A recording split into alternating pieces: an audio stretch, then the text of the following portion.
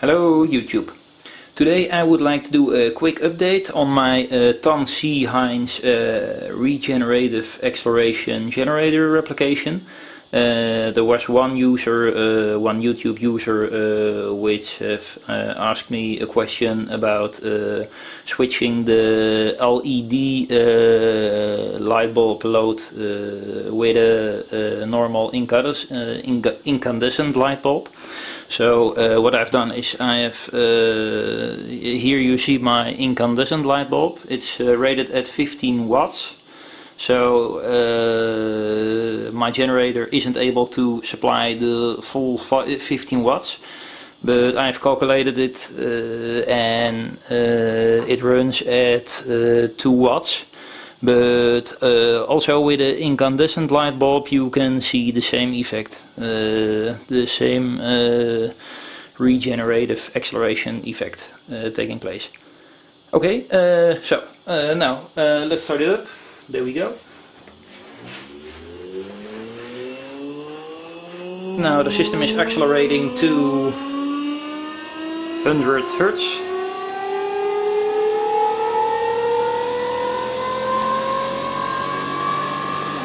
There we go. Now it's on on speed. Uh, you can see that it's almost generating 300 hertz by now. And that uh, on idle the system takes 78.3 watts 0.4 0.2 and when I connect my incandescent light bulb there we go. Oh. there we go. Then you see that it now takes 76.1 watts. And with load removed it climbs back to 77.8 watts. And let's try it again. Load connected. 75.4 watts with load removed. 77.5.4 so here you see that the same effect is taking place.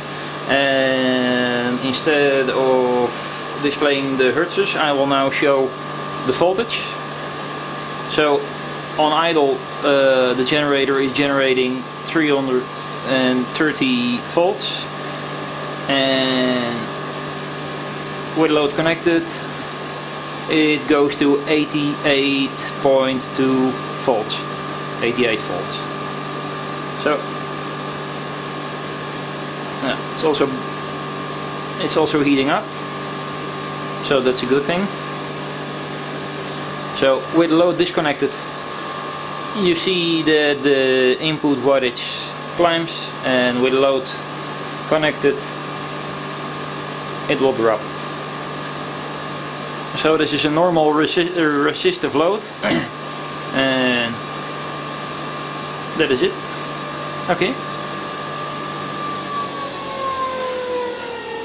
that was my uh, quick update for today. Okay, thanks.